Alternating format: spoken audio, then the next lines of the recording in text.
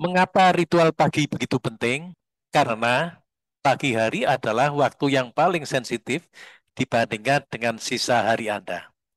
Bagi sebagian orang, pagi mereka dimulai dengan secangkir teh dan bagi sebagian orang lain dimulai dengan rutinitas olahraga. Apa pun kebiasaan Anda di pagi hari dapat memengaruhi perjalanan penurunan berat badan Anda. Jadi, mari kita bahas beberapa kebiasaan pagi yang sehat yang dapat membantu menurunkan berat badan dengan cepat. Latih kebiasaan pagi berikut ini untuk menurunkan berat badan dan lihat perbedaannya dalam hidup Anda baik secara fisik maupun mental.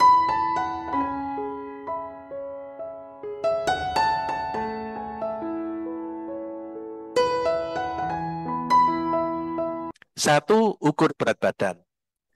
Menimbang berat badan diri sendiri di pagi hari setelah buang air kecil lebih akurat daripada memeriksa di lain kesempatan. Apa yang Anda makan dan minum nanti dapat mengubah hasilnya. Pengingat visual tentang berat badan Anda setiap pagi dapat membantu Anda tetap pada rencana makan sehat Anda sepanjang hari atau sepanjang minggu. Dua, minum air putih satu atau dua gelas setiap pagi.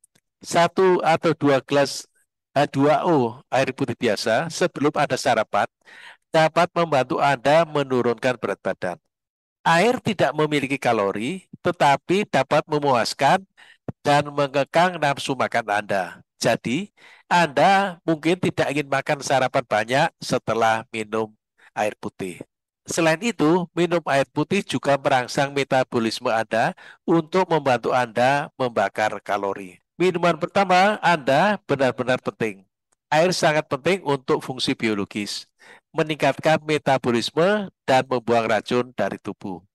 Ini memungkinkan tubuh Anda untuk membakar lebih banyak kalori. Tiga, berolahraga sebelum sarapan. Lakukan 30 menit olahraga ringan sebelum Anda duduk untuk makan pagi di pagi hari. Berolahraga dengan perut kosong sebenarnya membantu Anda mendapatkan hasil yang lebih baik dari olahraga. Berkeringat karena berolahraga sebelum sarapan dapat membantu Anda membakar lebih banyak lemak tubuh sebagai bahan bakar. Olahraga pagi yang teratur dapat meningkatkan penurunan berat badan Anda membantu fungsi tubuh Anda bekerja dengan baik dan membawa kelincahan dan energi ke tubuh. Empat, makanan sarapan tinggi protein.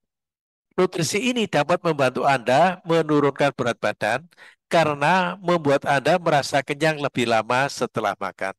Juga protein lebih sulit bagi tubuh Anda untuk menyimpannya sebagai lemak yang berlebih. Manfaat lain dari protein tubuh Anda menggunakan lebih banyak kalori untuk memecahnya daripada yang digunakan untuk karbohidrat atau lemak.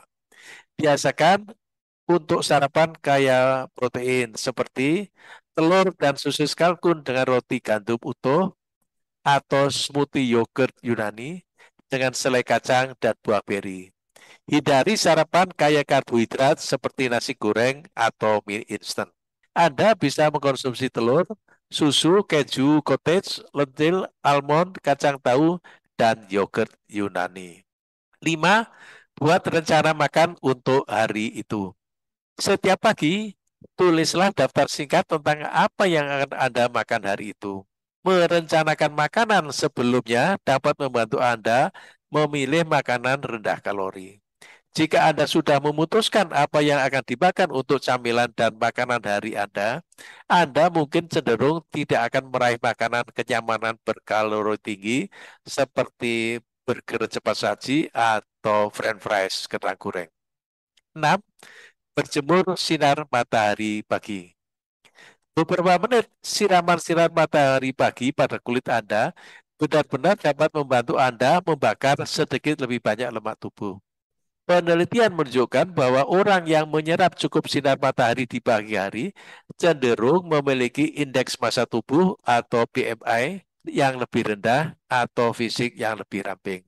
Tidurlah lebih awal dan ketika Anda bangun, duduklah di bawah sinar matahari selama beberapa menit untuk menyerap vitamin D alami. Berjemur di bawah sinar matahari di pagi hari akan membantu Anda merasa lebih energik dan sehat, plus akan menjaga perubahan hormonal Anda tetap pada jalurnya yang membantu penurunan berat badan. Praktekkan mindful eating. Makan secara pelan-pelan dan rasakan apa yang Anda makan. Hargai, nikmati aroma, tampilan, dan rasa dari sarapan Anda, meski itu, itu hanyalah sarapan yang sederhana. Jangan menonton TV atau browsing media sosial saat Anda makan di pagi hari.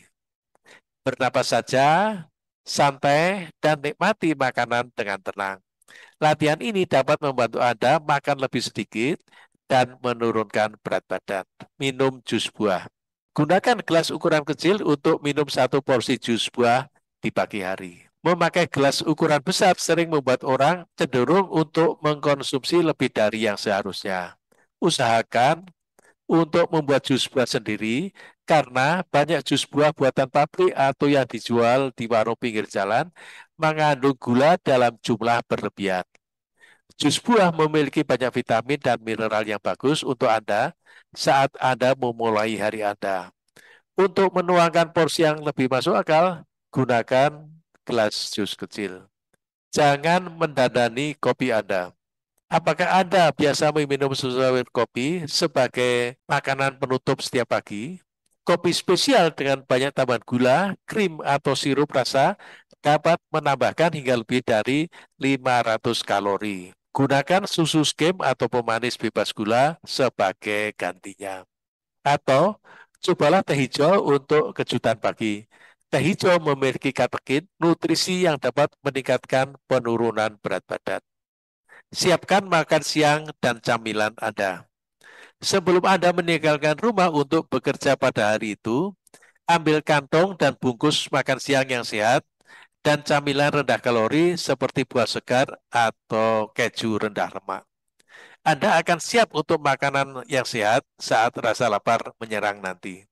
Jadi, Anda tidak akan memakan junk food. Pilih makanan kaya serat seperti sayuran, buah-buahan, untuk membuat Anda merasa kenyang lebih lama.